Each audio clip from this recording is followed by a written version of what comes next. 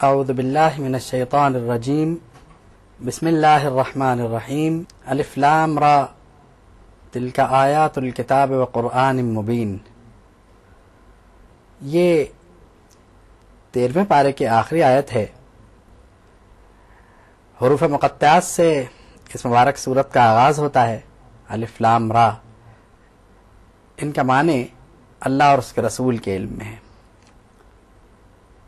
फरमाया कि ये किताब है और तिल का आयातुल किताब, ये किताब की आयात हैं व मुबीन, और ये किताब जो है, ये रोशन किताब है।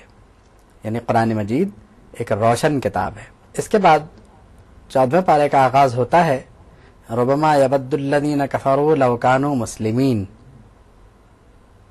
कि एक दिन काफिर ये सोचेंगे कि अगर हम मुसलमान होते तो क्या बात थी।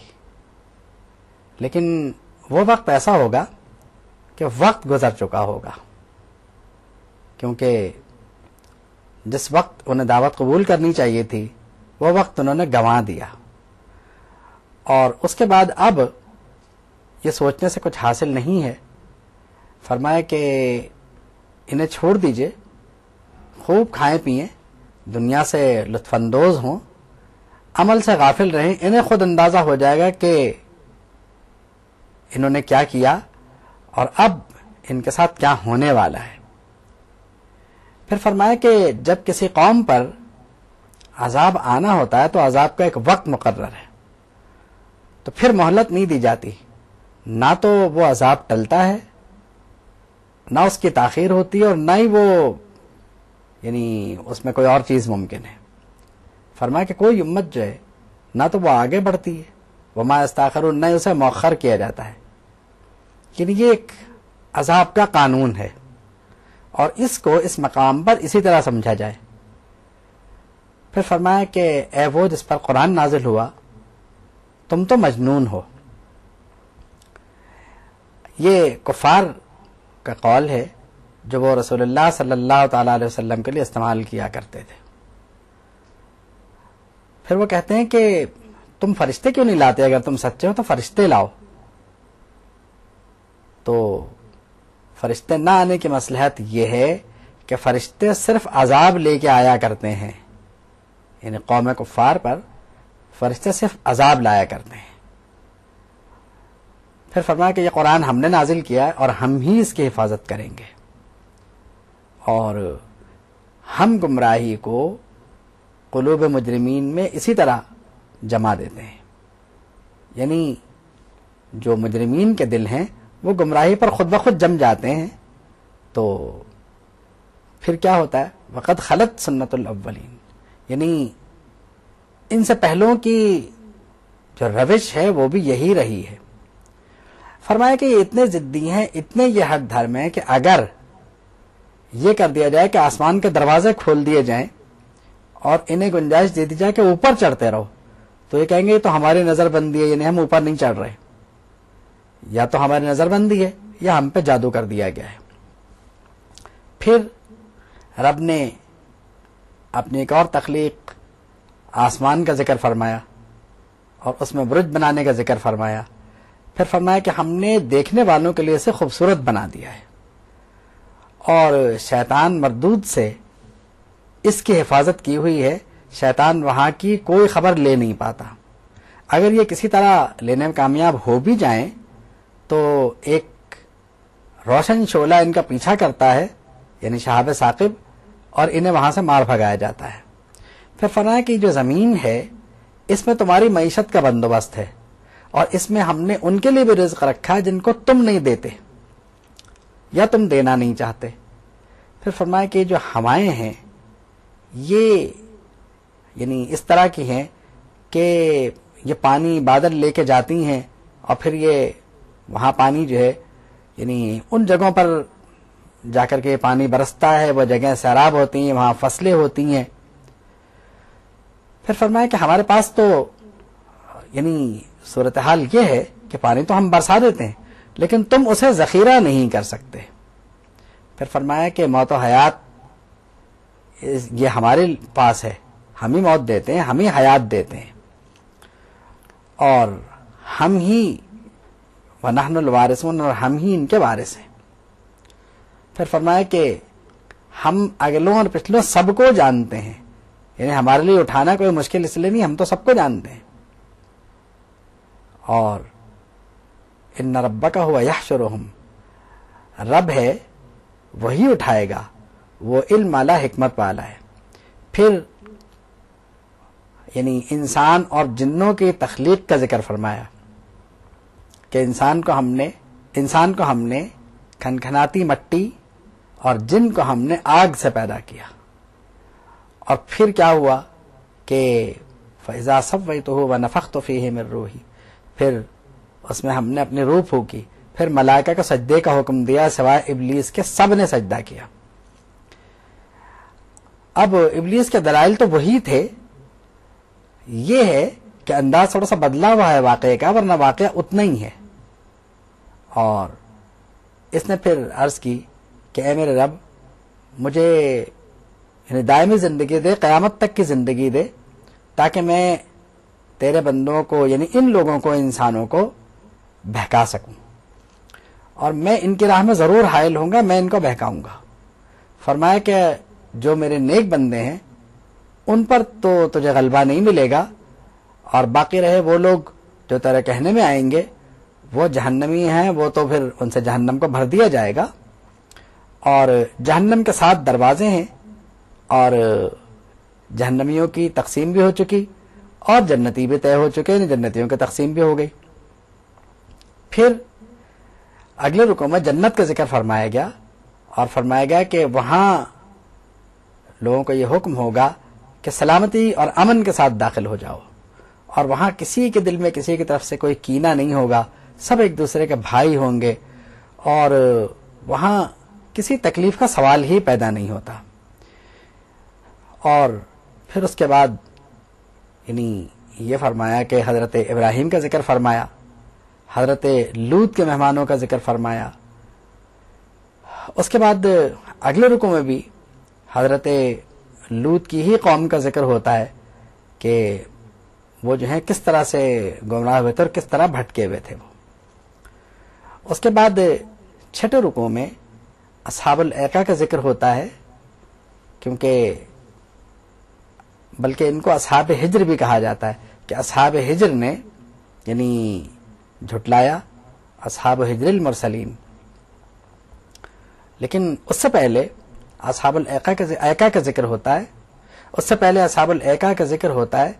फरमाया व इनकान असहाबुल ज़ालिमीन के असहाब एका जो हैं, ये जालिम थे। फन तकमना मिनहुम तो हमने इनसे इंतकाम ले लिया। इसके बाद असहाब हिजर का ज़िक्र आया कि इन्होंने भी मुरसलीन को झुटलाया। ये सब कुछ नबी करीम सल्लल्लाहु अलैहि वसल्लम की तसल्ली के, के लिए नाजिल फरमाया जा रहा है। फरमाया कि इन्होंने रसूलों को झुटलाया और इनका अंजाम भी फिर ज़ाहिर बात है कि तबाही था वो हुआ। फिर फरमाया कि इन रब्बा का हुआ खल्लाकुल आलीम आपका रब खालिक है और इल्म वाला है। और फिर नबी करीम सल्लल्लाहु अलैहि वसल्लम को, अगरचे सारे आलम के लिए रहमत बना के भेजा है, लेकिन फिर भी, यानी रब ने अपनी उम्मत पर शफकत फरमाने का हुक्म दिया कि आप मोमिनीन के लिए अपने बाजुओं को फैला दीजिए। हालाँकि आप शफीक हैं मोमिन के लिए, फिर भी, यानी आपको फरमाया गया कि आप ये कहिए कि मैं तो अन नजीर मुबीन, मैं तो डर सुनाने वाला हूँ और खुला डर सुनाने वाला हूँ। उसके बाद फरमाया गया कि हम जानते हैं ये क्या कहेंगे। लेकिन आप अपने परवरदिगार की इबादत करते रहिए और ज़्यादा मुनासिब ये होगा कि हम ये समझें और ये कहें कि इस मकाम पर रूए सुखन उम्मत मोहम्मदी की तरफ़ आता है और हमसे कहा जाता है कि तुम अल्लाह की इबादत करो, यहाँ तक कि तुम्हें मौत आ जाए। यानी मौत आने तक अल्लाह की इबादत करते रहो। क्योंकि हुजूर से बड़ा आबिद तो कोई है ही नहीं। इसलिए अगर रोए खताब उम्मत की तरफ़ भी हो तो कोई हैरत और ताजुब की बात नहीं है। उसके बाद सूर्य नहल का आगाज़ होता है। अता अमरुल्लाह फला तस्ताजिलू, कि अल्लाह का फैसला आने वाला है, बल्कि आ चुका है, जल्दी ना करो। वो पाक है, और उसका कोई शरीक नहीं। फिर फरमाया कि इंसान को उसने पानी से पैदा फरमाया, और इंसान जो है खुला झगड़ालू है। कहा जाता है कि रसूलुल्लाह सल्लल्लाहु अलैहि वसल्लम की खिदमत में एक काफिर हड्डी लेके आया, उसने हड्डी दिखाते हुए कहा कि ये कैसे ज़िंदा होगी? तो इस आयत का नजूल हुआ और जिसमें यह पैगाम दिया गया कि इस हड्डी की तो फिर कोई शक्ल है। इस मामूले से कतरे की तो कोई शक्ल नहीं होती, जिसे गोश्त पोस्त और एक जस्म बना के खड़ा कर दिया जाता है। फिर फरमाया कि जो चौपाए हैं, इनमें तुम्हारे लिए हिकमत है, ये तुम्हारे फ़ायदे के लिए बनाए गए हैं। तुम इनका गोश्त खाते हो, तुम इन पर सवार होते हो, तुम इन पे सामान लाते हो, ये तुम्हारे काम आते हैं। तुम्हारा रब इंतहा शफकत वाला है। फिर फरमाया कि वो तो वो पैदा करेगा, जिसके बारे में तुम्हें अंदाज़ा भी नहीं है मुस्तबिल में इतनी इजादात होंगे कि तुम सोच नहीं सकते। उसके बाद फिर उसी बात को दोहराया कि अगर अल्लाह चाहता तो तुम सबको हिदायत पे जमा कर देता। लेकिन ये तो तुम्हारा इम्तहान है। उसके बाद आठवें रुकू में फिर तख्लीक़ात का ज़िक्र है और फरमाया कि ये जितनी तख्लीक़ात हैं, यानी बारिश का पानी जब आता है लजी अनजला में समाए। जब बारिश का पानी आता है तो पता नहीं किस किस तरह के फल, फूल और खजूरें, अंगूर और ये सब जो है वो इंसानी गजा के तौर पर इस्तेमाल करने के लिए पैदा की जाती हैं तो अकल वालों के लिए इसमें बड़ी निशानियाँ हैं। फिर अल्लाह ने फरमाया कि ज़मीन में पैदा होने वाली जो मुख्तलिफ़ नौ चीज़ें हैं, उनके रंग भी तो मुख्तलिफ़ हैं। ये नसीहत वालों के लिए बेहतरीन निशानी है ये बात, कि उनके रंगों का मुख्तलिफ़ होना। फिर फरमाया कि जो चाँद, सूरज और रात, दिन, ये सब इसमें भी अकल वालों के लिए निशानी है, क्योंकि ये सब मसखर कर दिए गए इंसान के लिए हैं ये सब। ये सब इंसान के खादिम है। फिर फरमाया कि वही अल्लाह है कि जो तुम्हें सखर अल बहर, जिसने दरिया को, समंदर को तुम्हारे लिए मसखर फरमा दिया, ताकि तुम इसमें से जानवर निकालो और उनका गोश्त खाओ और अपने जेवरात बनाने के लिए इसमें से मोती वगैरह तलाश करो। ये भी तुम्हारे फ़ायदे के लिए है। अल्लाह फरमाता है, अफमन यखलुक कमल्ला यखलुक, अफला तजक्करून, कि उस जैसा कोई पैदा करने वाला है, उस जैसा कोई पैदा करने वाला नहीं है जैसा वो पैदा करता है, ऐसी कुत किसी में नहीं है। तो क्या ये नसीहत हासिल नहीं करते? अफमन यखलुक, क्या कोई है ऐसी ईजाद करने वाला, ऐसा पैदा करने वाला? तो यकीनन ऐसा कोई नहीं है। फिर फरमाया कि उसकी नेमतें तो बेशुमार हैं और वो बख्शने वाला मेहरबान है, तुम गिन नहीं सकते। उसके बाद जो अगला रुको है, नवा रुको, उसमें कुफार की फितरत बताई गई। कुफार की फितरत यह है कि जब उनसे कहा जाता है कि तुम्हारा अल्लाह और तुम्हारा रब तो बस एक ही रब है जो वाहिद है तो उनके दिल इनकार से भर जाते हैं और तबीयतें गुरूर से भर जाती हैं। फरमा अल्लाह को गुरूर करने वाले तो पसंद ही नहीं है। फिर अगले रुकों में जन्नतियों और जहन्नमियों का ज़िक्र है। मुतकबरीन जहन्नम में जाएँगे और जो जन्नती हैं, उनकी भी वहाँ पर खसूसियात हैं कि वो क्या होंगे। तो उसके बाद हम ग्यारहवें रुकों में आते हैं तो वहाँ भी कुफार के नेचर ये बताया जा रहा है कि इनकी हालत यह है कि ये कस्में खा खा के ये कहते हैं कि अल्लाह दोबारा किसी को नहीं उठाएगा। ला मैमूत जो मर गया उसे नहीं उठाएगा। अल्लाह फरमाता है कि अल्लाह का वादा हक है। ये तो अक्सरियत को पता ही नहीं है, अक्सर लोग तो जानते ही नहीं इस बात को। हमें तो सिर्फ़ कहने की देर है। नमा कौलना लिशय इन इजा अरद ना हो जब हम इरादा फरमा लें तो हमें कहने की देर है अन्नकूल लहू, हम जब कहेंगे, फयकून तो वो हो जाएगा। फिर उसके बाद फरमाया कि जो लोग हिजरत करते हैं अल्लाह के राह में, और वो हिजरत भी उस सूरत में होती है कि जब उन पर जुल्म किया जाए तो उनके लिए बेहतरीन ठिकाना है, और ये वो लोग हैं जो अल्लाह पर भरोसा करते हैं और सब्र करते हैं। तो फिर इस रुकू में आगे चलकर यानी फरिश्तों के बारे में फरमाया जाता है कि फरिश्ते अल्लाह की फर्माबरदारी करते हैं गुरूर नहीं करते, वो उसके अजाब से डरते हैं और उसके हुक्म के मुताबिक काम करते हैं। फिर तेरहवें रुकू में, यानी अगला रुकू जो है, उसमें फरमाया गया कि ये जो कुफार हैं, ये बेटियों को होने को ऐब समझते थे। तो फरमाया गया कि जब उनमें से किसी को बेटी के पैदाइश की खबर दी जाती है तो जल्ला मसवदन तो उनका चेहरा जो है वो काला पड़ जाता है, मुँह छुपाते फिरते हैं। तो उनका ये नेचर बताया गया कि उनके, क्योंकि उनके यहाँ तो रिवाज ये था कि बेटियों को ज़िंदा दफना दिया करते थे।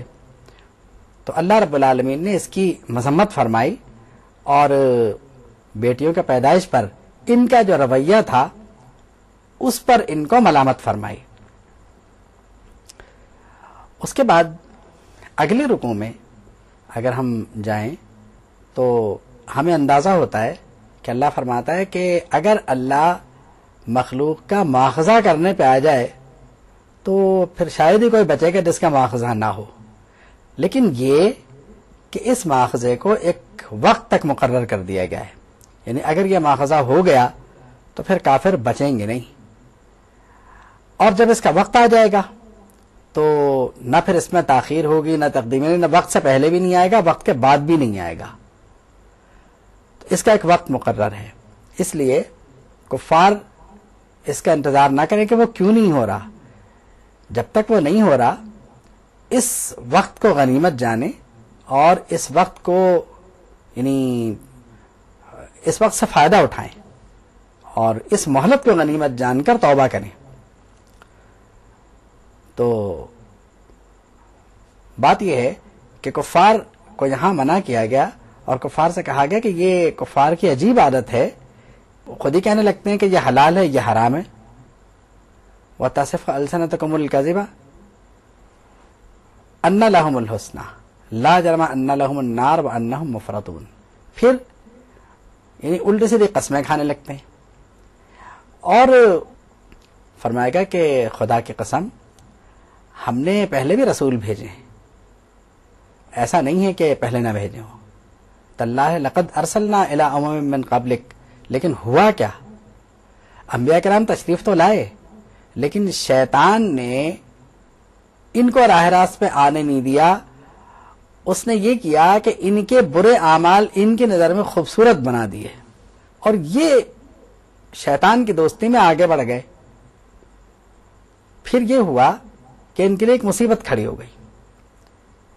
क्योंकि अपने ही आमाल को खूबसूरत देकर उसके जाल में फंसते चले गए। क्योंकि बुरे काम की जो लज्जत थी, वो इनके लिए मतलब और मजीद अच्छी होती चली गई। तो इन्होंने जो है, उसको गनीमत जाना और उसमें ये अपने जाल में फंसते चले गए। और इन्हें ये अंदाज़ा नहीं हुआ कि शैतान इनके लिए क्या कर रहा है। चुनाचे वो जो, शैतान इनका दोस्त बन गया, इनके आमाल के सबब से। तो ये अपनी ही मुसीबत में खुद फंसेंगे। फिर अगले रुकों में अल्लाह ने वही अपनी मखलूक, यानी शहद की मक्खी का ज़िक्र फरमाया कि वो किस तरह शहद कशीद करके लाती है और कैसे, यानी वो मुख्तलिफ़ अन्ना अकसाम के शहद उससे इंसानों को हासिल होते हैं और इंसान को, इंसानों के नफ़े के लिए होते हैं। तो ये एक बहुत बड़ी बात है। शहद की मक्खी का यहाँ पे तस्करा क्योंकि सूरत का नाम भी सूरह नहल है तो शहद की मक्खी का तस्करा यहाँ पर, यानी उसने इतनी मखलूक़ात पैदा फरमाई हैं कि ऐसे खालिक के लिए इंसान की तखलीक जो है, वो तो बहुत मामूली सी बात है। और उसे उठाना भी बहुत मामूली सी बात है। तो बात यह है, फिर इंसानों से मुतालिक एक आयत में सारा फलसफा रख दिया। फरमाया कि जितने दलाल कुदरत दे दिए गए, ये तुम्हारे समझ में नहीं आए, तब एक नए तरीके से तुम्हें बात समझाई जाती है। वल्लाह खलकुम सुम्मतफ़ाकुम अल्लाह ने तुम्हें पैदा किया, फिर वो तुम्हें वफात देगा, यानी तुम्हें मौत देगा। वमिनकुम मैं युरद इला अर्जल उमर, और तुम में से कुछ ऐसे होंगे, जिन्हें वो ऐसी उम्र की तरफ़ ले जाएगा, कि जहाँ इल्म होते हुए ने कुछ समझ में नहीं आएगा। यानी इल्म उनको होगा, लेकिन न तो कुत फैसला होगी और न ही वो समझ पाएँगे। यानी ये एक, तो ये कि तुम पैदा हुए मर गए। एक ये कि तुम में एक ऐसी उम्र की तरफ़ जाना है यानी तुम में से कुछ लोगों को ऐसी उम्र की तरफ़ ले जाएगा कि जहाँ इल्म होगा उसके बावजूद तुम्हारे समझ में कुछ नहीं आएगा। हम देखते हैं जिनकी उम्रें यानी बहुत ज़्यादा हो जाती हैं तो अक्सरियत को हम यही देखते हैं।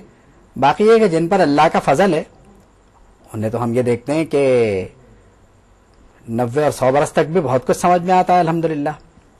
अब हो सकता है कि वो चलने फिरने के काबिल ना होते हों या उसमें भी मुख्तलिफ़ तरीके हैं कि कुछ तो चलने फिरने के काबिल नहीं होते। कुछ का यह है कि वो तो समाप्त का मसला होता है, इसलिए वो कुछ नहीं समझ पाते, इल्म तो होता है उनके पास। कुछ की जहनी कैफियत ठीक नहीं होती, और कुछ पे अल्लाह फजल फरमाता है, यानी अस्सी, पचासी, नब्बे से ऊपर भी जाके हवास उनके सलामत रहते हैं, बात समझते हैं। बात का जवाब देने की कुत रखते हैं, लेकिन हो सकता है कि बहुत बहुत कुछ उनके समझ में ना आता हो। फरमाया इन अल्लाह अलीम कदीर। अल्लाह इल्म वाला है, कुदरत वाला है। मतलब कि अपने इल्म के मुताबिक और अपनी कुदरत के मुताबिक जैसा चाहेगा करेगा। फिर अगले रुको में फरमाया वल्लाह फद्दल अबादुकुम अला अबादिन फिर रिज्क।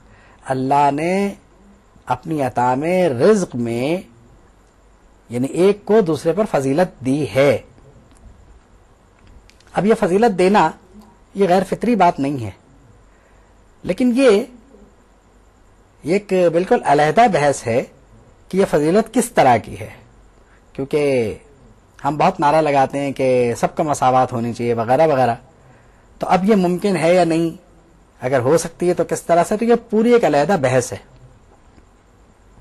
जिसको, यानी, आगे किसी मौके पर जेर बहस लाया जा सकता है। फिर फरमाया कि वो अल्लाह है, जिसने तुम्हारे लिए बीवियाँ और बेटे पैदा फरमाए, तुम्हारे लिए अच्छी अच्छी चीज़ें पैदा फरमाई तो अब तुम अब भी क्या उसके नेमत का इनकार करते हो? इसी तरह के दलाइल कुदरत जारी हैं। सत्तरवें रुको में रब ने फरमाया कि वही अल्लाह है जिसने तुम्हारे लिए मिम्बुयोतकुम सकाना, रिहाइश के लिए घर बनाए।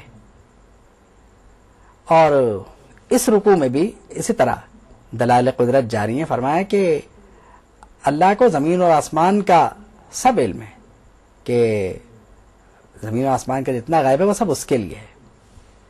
फिर फरमाया कि ये अल्लाह की नेमत को जानते हैं, मगर इनकार करते हैं। तो इस वजह से इनकी अक्सरियत काफिर है।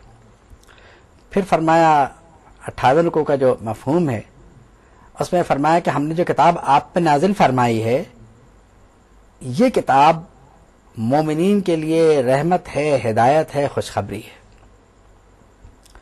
उसके बाद जो अगला रुकू है उसमें हुक्म दिया कि अल्लाह तुम्हें हुक्म देता है, इंसाफ करो, हसन सलूक करो और रिश्तेदारों के साथ सिलरहमी करो, बुराई से रुको और जाति से रुको, यानी फाहिश से और मुनकरात से रुको और ज्यादती से रुको वलबाग अल्लाह तुम्हें नसीहत करता है। बीसवें रुको में पारे के अल्लाह फरमाता है कि जो लोग उसके राह में जिहाद करते हैं और सब्र करते हैं तो इसके बाद अल्लाह उन्हें बख्शने वाला मेहरबान है। इक्कीसवें रुकू में उनको जो तौबा करने वाले हैं यह पैगाम दिया गया कि अगर गुनाहों के बाद कोई तौबा कर ले तो वह अल्लाह को बख्शने वाला मेहरबान पाएँगे। फिर, यानी हज़रत इब्राहिम की तारीफ़ की गई और नबी करीम सल्लल्लाहु अलैहि वसल्लम से फरमाया गया कि आप मिलत इब्राहिम की पैरवी करें इतबा करें, वो मशरकिन में से नहीं थे। फिर फरमाया कि आप अपने परवरदिगार की राह की तरफ़ लोगों को यानी मौज हसना, यानी अच्छे अच्छे वाज करके बुलाइए हमत से बुलाइए और खूबसूरत तरीके से मनाजरा फरमाइए। बाकी अल्लाह बेहतर जानता है कि, बल्कि बहुत ज़्यादा जानता है कि गुमराह कौन है इनमें से। फिर फरमाया कि सब्र की तलकीन फरमाई गई। फरमाया गया कि आप इनके कहने से परेशान ना हो। आप सब्र फरमाइए और इनके कहने पर गमगीन ना हो और आपका दिल जो है, वो इनकी बातों से मलूल ना होने पाए। फिर फरमाया कि नबी करीम सल्लल्लाहु को तसली दी इन अल्लाह तको अल्लाह उनके साथ है जो मुतकी हैं। वल्लजीन हम महसनून, और मुत्तकी कौन है? जो बेहतरीन लोग हैं, जो नेकियाँ करने वाले लोग हैं। वह आखिर उदावाना अनिलहमदिल्ला रब्बिल आलमीन।